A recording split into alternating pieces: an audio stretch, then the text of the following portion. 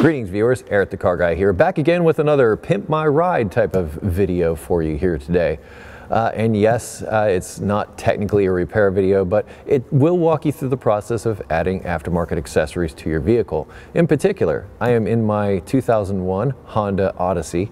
Uh, and it being a minivan, wouldn't it be nice to have a DVD player to keep the kids occupied on long trips, that type of thing? My friends at CarID have provided me with this 12.1 uh, inch widescreen TFT monitor uh, DVD player from Boss Audio Systems. Uh, and this is what we will be installing in the Odyssey today. Now I will say this, I've gone through the box and looked at the installation instructions and found them to be woefully inadequate. And in essence, what I'm saying here is there's a whole lot that I'm going to be learning during the process of making this video. And if you go to install one of these systems, I'm sure you'll be happy to have this information. But I'm sure we'll figure it out uh, along the way. Here is the actual DVD player itself. As I said, it has different covers around the outside so you can change its color to match interior color. Here's three, some of the most popular ones. Also, headphones, two sets of headphones uh, so that you can watch a DVD while the other passengers may be listening to the radio. In addition to being able to play uh, DVDs, this one also has a USB hookup, an SD card hookup, it has AV inputs as well, and a remote. All right, just to give you an idea of what I had mentioned earlier about the uh, installation instructions. This is pretty much it as far as the wiring is concerned. You have all these other RCA type hookups that if you have that type of system, you can run this that, that way uh, as far as getting your audio into the speakers of the vehicle, but there's also an FM transmitter so you can just dial in a, a radio station and listen to it that way. That's the option I'm going to pursue today because I have the stock head unit in there now. I do need to supply it with a power and a ground. Also, it has a dome light assembly, so there is uh, provisions to trigger the dome light either through a ground or a positive connection and also has its own power. So you'll be gaining an additional dome light in addition to a DVD player. And as far as the rest of the installation goes, the mechanical side of how to get this up in the vehicle, that's it. Here's the plate, here it is, here's some screws, put it together. Here's the headphones, remotes, uh, an external input for with RCA connections.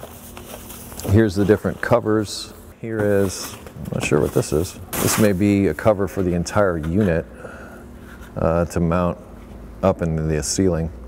Not sure on that one. This is the screen cover that it would flip down uh, that's there. And here's the outer cover. So this can roughly give us an idea of how big this is. And there we have it. That's how big the unit will be. And here is the actual unit, all the wires that we need to hook up. Huh.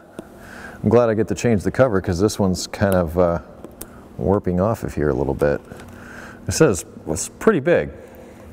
It actually weighs a little more than I thought. Originally what I was thinking was is that I would take this mounting plate and just put it behind the headliner and then screw this up into that and have the headliner hold it up. After feeling how heavy this is and how large it is, I don't think that's going to be an option. I think we're going to have to find some way to fasten this to the roof of the vehicle. One of the first things I want to do is just sort of get a general idea where I want to place this. As I said, this is a little heavier than I thought.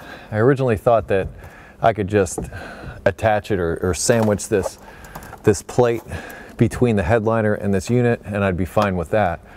But given that it's just cardboard, the, the headliner's really not structurally sound enough, enough to do that. But I will need to have a general idea where I'm going to place it.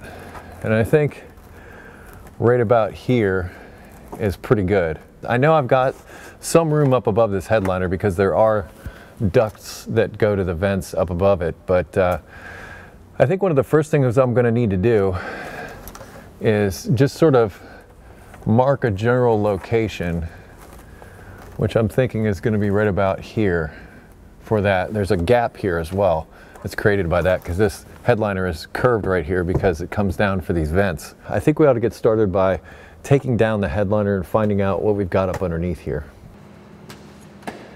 That should do it.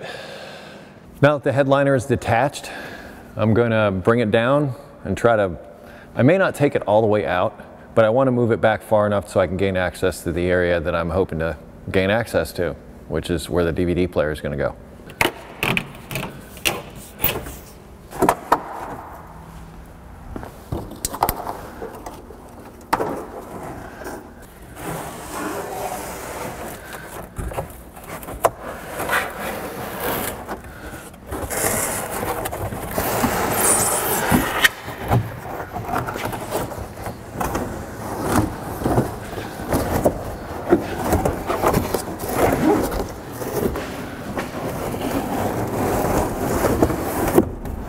Gonna put this on top of the van so that it stays safe and hopefully doesn't get too dirty.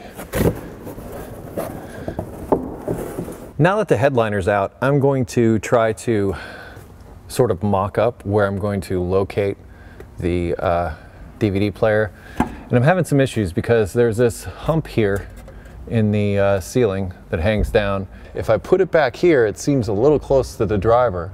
When I was mocking it up before, it felt quite a bit better up here. So what I may end up doing is coming up with some sort of spacer for the back side here and then finding some way to attach it to some of these existing fasteners uh, up in here. So I'm going to remove this mounting plate from the uh, DVD player and see what I can do as far as positioning that uh, in a good location. All right, this is the mounting plate here that I'm going to have to remove.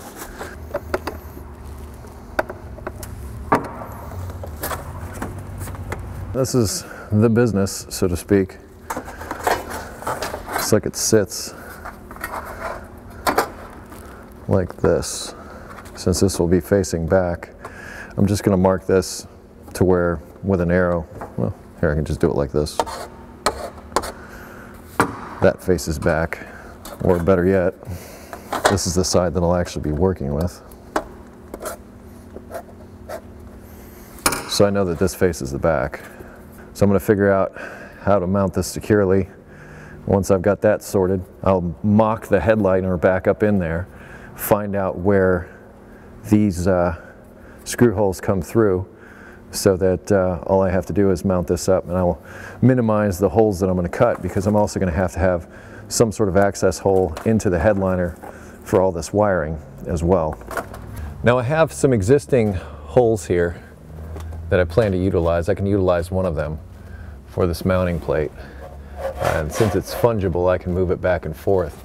The issue comes in on this other side here, which I've measured, and I've got about a three quarter of an inch gap to go between here and the back side of this. So I'm gonna see if I can find something of that size that I can put in there. And I just need to find something to fit in one of these slots. So as long as this is attached to the metal, I've, i feel that it, it, will, it will work. Even if it's just these two fasteners, I'm still going through the headliner, so that will provide some support, but it'll be hard mounted, mounted to the ceiling so that that way when you open and close the screen, it won't stress out the headliner too much. I've begun to mock up the plate. And there is one existing uh, screw hole there that I'm going to utilize for uh, the front mount, but more importantly than that, I found these dowels that actually are for a cylinder head that just so happen to be three quarters of an inch in thickness. And I'll be able to put two of them up in here like this as sort of sleeves on either side. And I need to mark where I'm going to drill my holes in that hump there. So I'm using my awl, my punch, which is what I often use for drilling anyway. And I'm not so concerned because this is slotted about getting them exact. I just want to get them roughly in the location so that I can uh, drill holes for my fasteners. Now I just guessed, I got a couple self-tapping screws over on my magic screw pile, but I just guessed it's the size drill bit. So I'm just gonna quickly drill a hole just to see, and these are self-tapping screws by the way.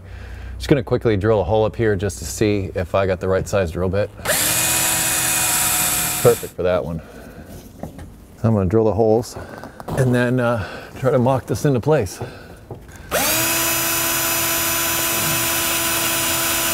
Okay, I probably should have been wearing safety glasses there. I'm gonna go grab my measuring tape also so I can get this centered up. Okay, see what we got. I'm gonna go to the pinch welds. On this side I got, uh, oh, about just a shade under 15 and 3 quarters. This side's at 14, so I need to go this way quite a bit. Uh, it's 14 and 3 quarters on that side, and I'm about, you know, needs to go over this way just a little bit.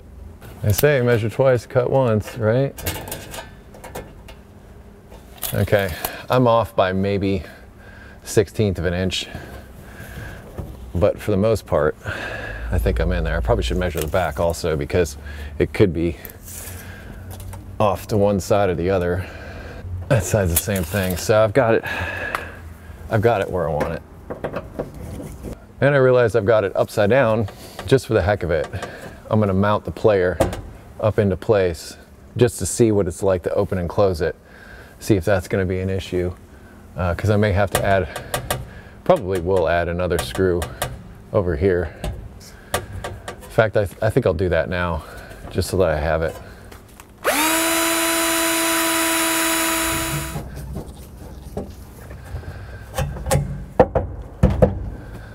I feel fairly confident with that.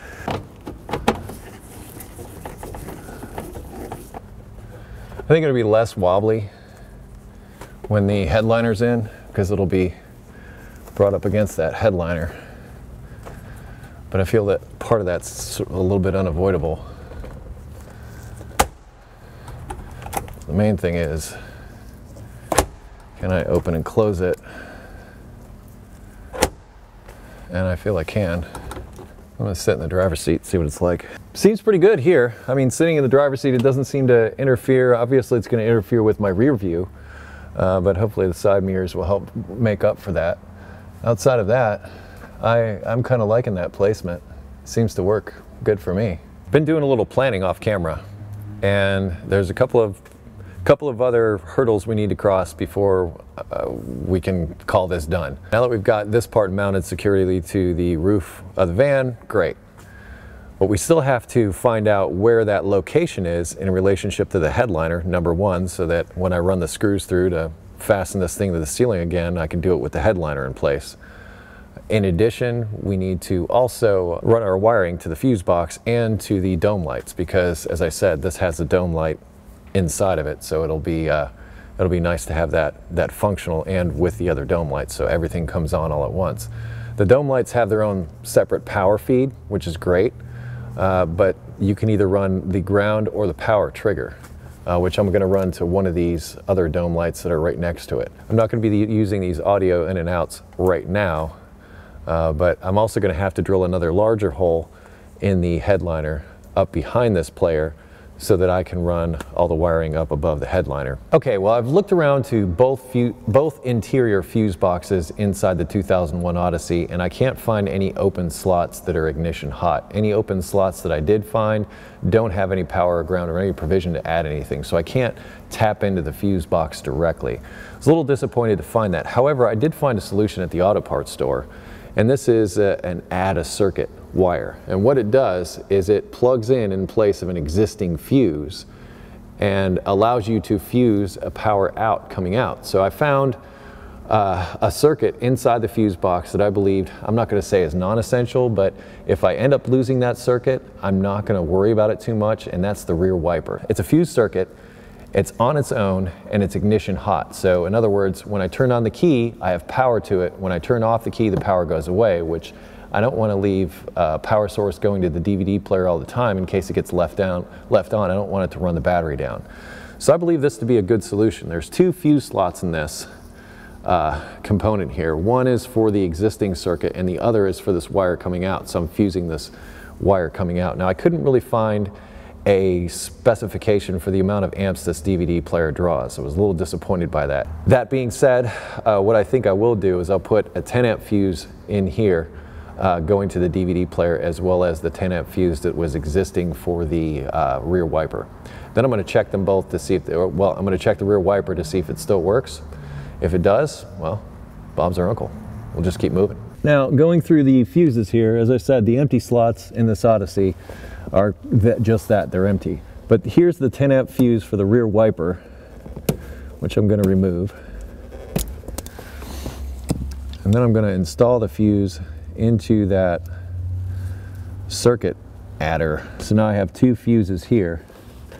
I'm gonna leave them both pointed down.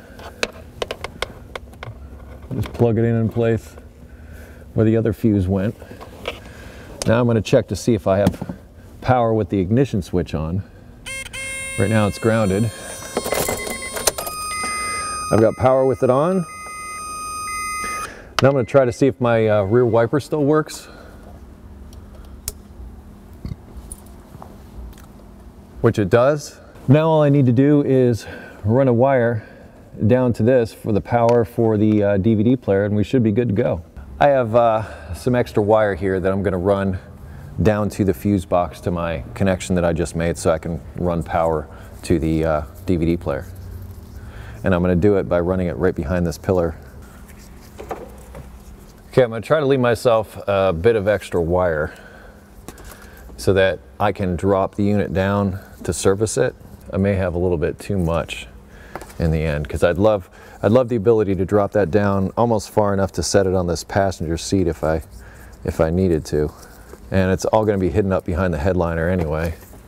For now what I might just do is just sort of mock this up so I can test it see if it works. And then we'll come back and finish it off. The ground wire actually could be fairly easy in that I could just use one of my mounting screws as a connection for that I have a ground wire that I'm going to run. I was going to run it to the mounting brackets. I've decided against that. It's actually going to be easier. I have a hole right here in the uh, roof. It's already tapped out and everything. Oh, you know what? I can't use that because that is for the uh, HVAC mount is what that goes to. So I'm gonna have to find me something else. I've drilled a hole I'm to add a ground. Grounds can be found just about anywhere on the body. Now granted the best grounds are the ones that go to the frame and the battery itself, but you don't always have that option. Got ourselves a good ground. Now, like I said, I'm to leave myself a little bit of extra wire.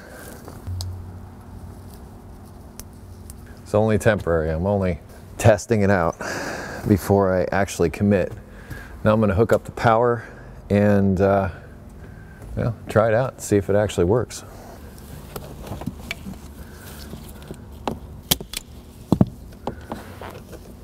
That should do it.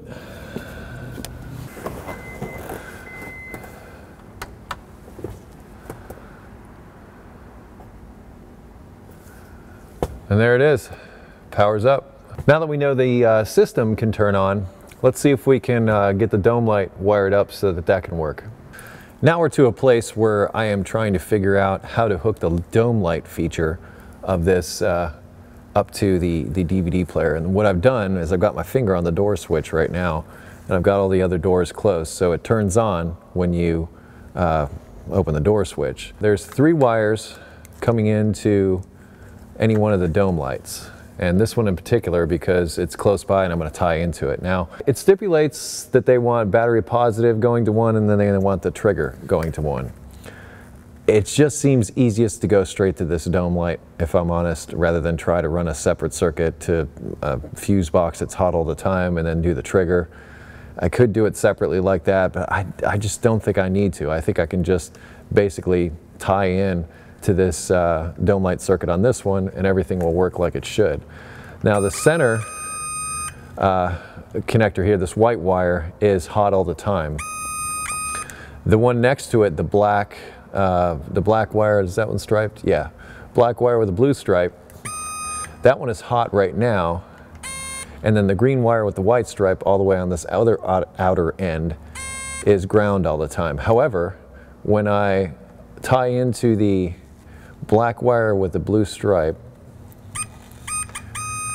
and I let go of the door switch, it goes to ground and my dome light comes on. So that's my trigger. So my trigger is ground, it's a ground trigger and it happens when I hit the door switch. So now I'll close the door switch again, give it a couple of seconds, and that should switch to power. The uh, other ground that's there, I think is there all the time from when you hit this switch on and off. And that one's not triggered when you do this, at least, at least not here. I think it just uses the power in the ground that's there, completes the circuit when you close the switch. but I'm just gonna make it work with the doors is all I'm concerned about. This is a courtesy light for when someone's sitting in the seat. I don't need the center lights coming on at the same time. It just doesn't seem necessary. So I'm gonna tie into this uh, blue or black, this black and blue wire for my trigger and this center white wire I'm gonna tie in as my battery positive. Okay, so before I put the headliner in and before I actually hook up to the uh, dome light circuit, I'm gonna mark my wires as to where they go because I really won't be able to join everything together until I've got the headliner in. I'm gonna pull the wires down through the headliner, connect everything, and then I'm gonna put the DVD player up in place. Uh, so right now what I'll do is since, especially since I only have two color wires is yellow and brown, is I'm gonna mark everything as to what it is before I uh, commit to anything. So this, this here is going to the fuse box. I'm just gonna mark it as such. Do the same to my ground, which honestly, I think I should make that ground wire a bit longer, which I might end up doing. Leaving little breadcrumbs like this will save your bacon. I know I'm tying into these wires in here. I turned the dome light circuit off by the way, so this is this is not hot at all right now. There's nothing happening here. Oh, I lied. I turned it off. I guess the ground side, when you turn, I turned off the master switch, but beware, because that's still hot. I was hoping turning off the master switch would cut power to everything, but apparently it doesn't. All I'm doing is checking to see if it works right now. Black wire here is the negative trigger. Because I'm only using the negative, I don't believe I have to use the positive.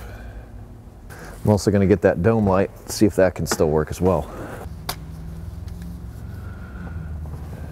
Well, works when you turn it on.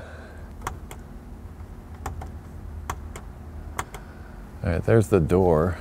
Right now I've closed all the doors and everything. I have my finger on the door switch. I'm uh, just gonna let go of the trigger here. And as you can see, both lights come on. Now I'm gonna push the door button again. It takes a few seconds for it to shut off. And it goes off. And this one goes on and off separately. In concept, this will work. So now we just gotta wire it up. Away we go. Now I'm gonna make my wires long enough to reach and uh, basically get it all set to put the headliner back in so I can just mount this thing up. Since yellow's already my power wire color, that's the wire I'm gonna use for the power side. Just to make absolutely sure I have the best connection I can have, I'm gonna solder that.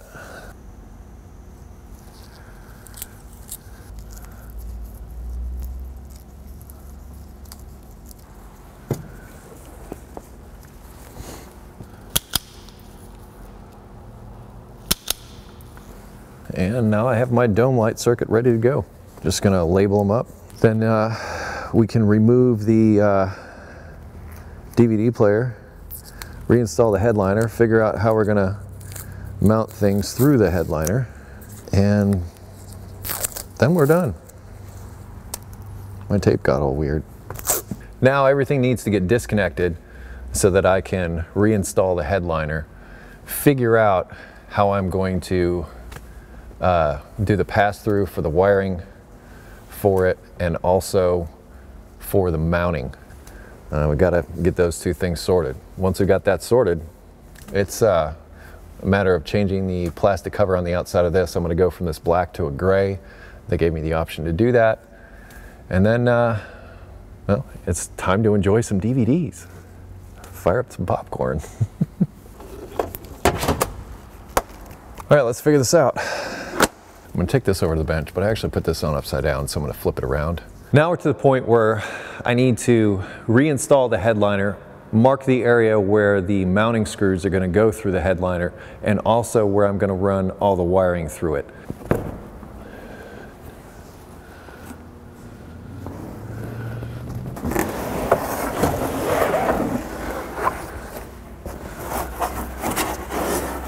All right, so that's roughly the area where it's going to be. And I believe my mounting plate is right in this area here, right where my hand is. So now, I need to figure out how to mark that area. For that, I'll use my Sharpie.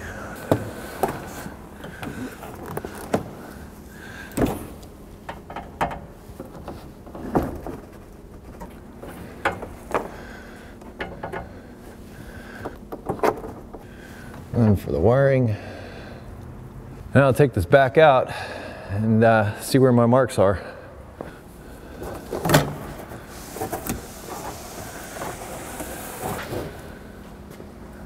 Now I've got sort of a general location on the headliner already from what I just did, but I can remove this uh, cover and use it as a template since these are the four mounting points and also this could be for the harness over here.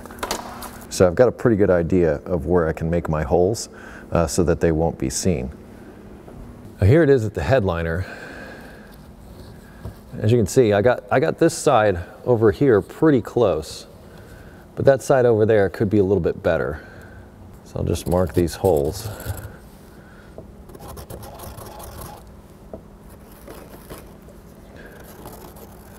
And also this area over here because that's where all the wires and everything come down. So I know that if I make a hole in this area, it'll still be covered. Because the last thing I want is to go through all this only to discover that I have holes that are visible in the headliner. But this, I would say, is probably the scariest part for me. I have a universal stepped drill bit that I'm going to use to cut these holes. This is just the easiest thing to do this with. I think what I might do is I might just do these like these front two to make sure that those are, and go up in there and fit it, make sure those are correct.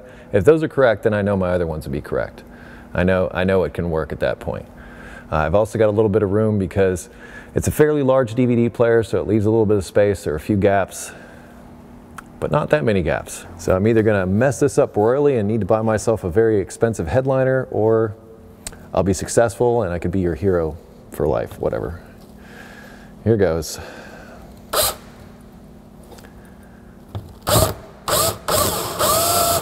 It's amazing how quickly that happened.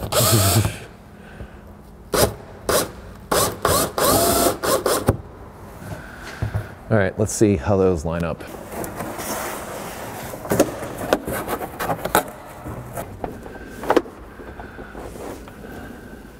We need to get all our screwdriver or something to check them.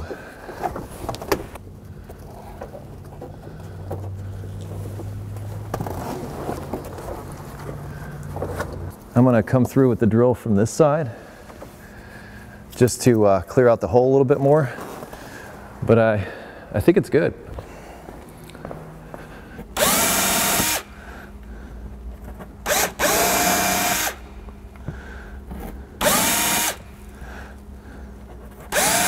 I'm gonna be honest, I can't see a darn thing.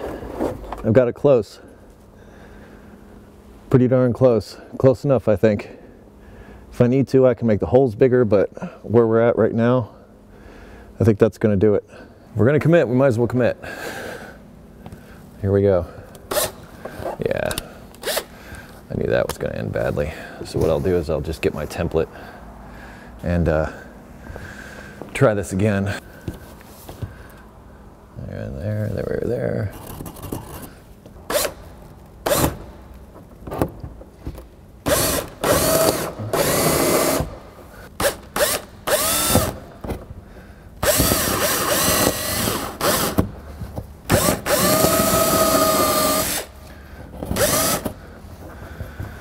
I'm gonna have foam or just cut part of it off. I think that's probably the most practical thing is I'll just cut it off because when I go to uh, tighten this thing up, I'll have all this padding I'll be working against.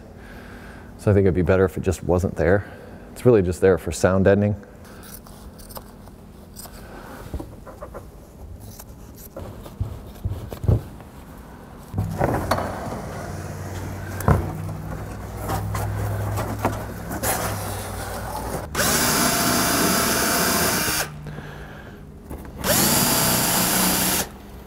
I can tell it's pretty darn close.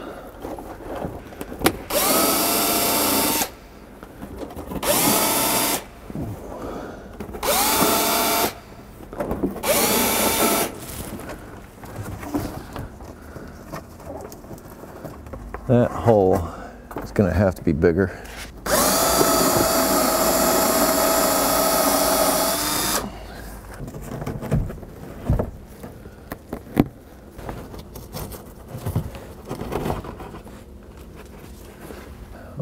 Those wires.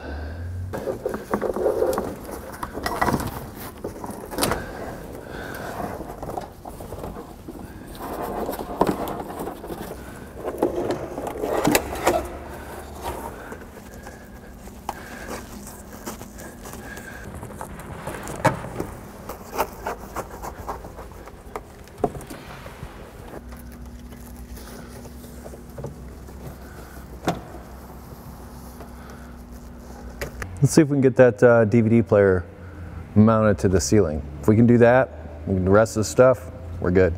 I finally got everything lined up inside the van, but I'm not gonna use this black shroud. I'm gonna be using this gray cover instead. I needed to remove this for my template, uh, which was just held on by a bunch of very small screws around the circumference. I'm sure you can figure out. But also this outer shroud is held down by several recessed screws down inside of here. So make sure you remove those screws. Black shroud removed. But I also wish to get rid of this cover as well. Pops off from what I understand.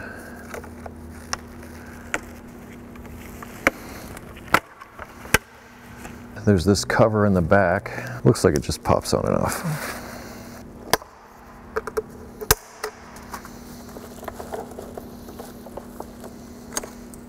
Looks like it comes in, hooks underneath.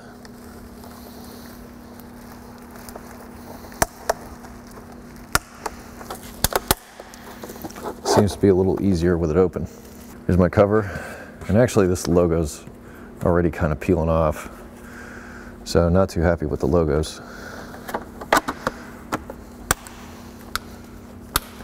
Now, the other cover.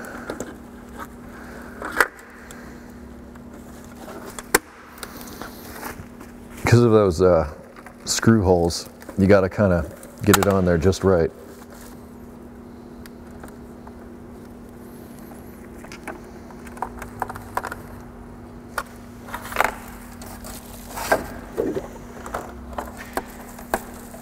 I'm half entertaining the idea, since I'm not using these RCA connections right now, I'm just leaving them underneath this cover. My fear is, however, that I might be creating a rattle. That's my concern. But outside of that, that just leaves me these wires to deal with up inside the vehicle. You know what? I think I'm going to do exactly that. And just leave those in there. They're not hurting anything. They're not in the way. These are very small screws. Let's get this thing mounted in the vehicle. Okay kids, now it's time to wire the junk up. Except for the FM antenna, I don't need to wire that up. This is my thought. I, I'm not going for the soldered connections this time. And you may be disappointed by that, and I apologize. But sometimes you have to go for efficiency, which is what I'm doing, and I'm going to use crimp connectors. I'm going to use a good set of crimping pliers to do this with. Okay, this goes to the fuse box, positive. And I'm to leave, kind of leave my labels on, just, uh, just in case.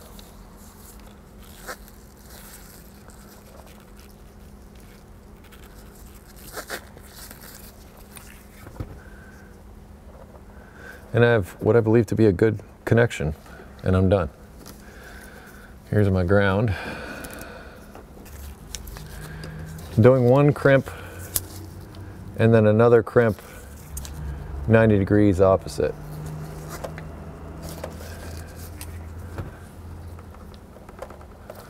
Checking the connection. Okay, the blue wire here was not going to be used.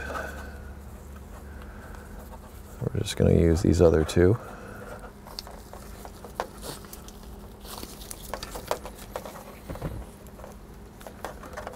And that pretty much does it. Now we've got to somehow fasten this up there. Now, they gave me these short screws to start with are woefully inadequate. So these short screws, they aren't going to be enough. They were enough to mount it a minute ago, but not through the headliner. So I need something longer. They provided some extremely long screws in the uh, kit, but I have found some screws that are right about in the middle. And my fear with the uh, longer screws was is they would go up into the roof line and I didn't want to do that. So I found these are half the length of what they gave me. I could have also cut down the ones they gave me, but I'm just gonna, I'm gonna go with this.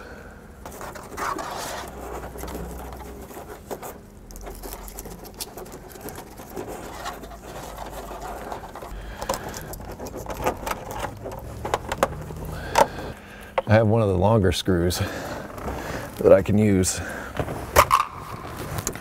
Hopefully like a guide to try and set up the other screws. Yeah, it's really wicked long, but if nothing else, I know I'll be able to find where it's supposed to go. Which is gonna be difficult for the first couple of screws.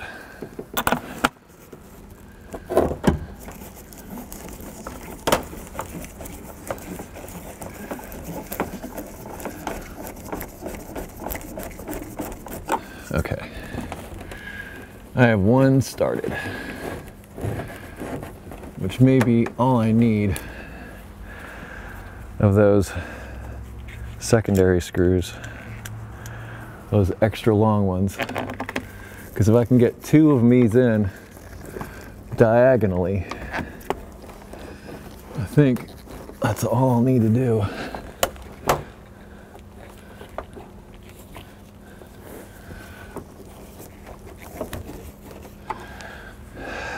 we are on our way.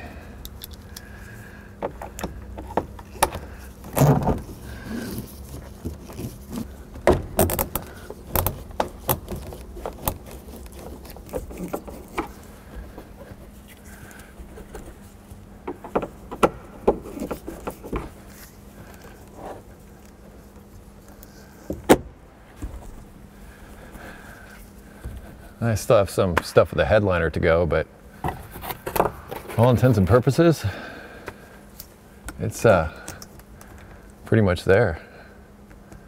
And yeah, this is a little wobbly, but that's, that's got nothing to do with me and my mounting or anything like that. Now that it's in there, I think before we go too much farther, probably not a bad idea to test it out again, make sure the dome light stuff works, make sure that uh, the actual DVD player works. And once it does, it's really just a matter of putting this mess back together. All right.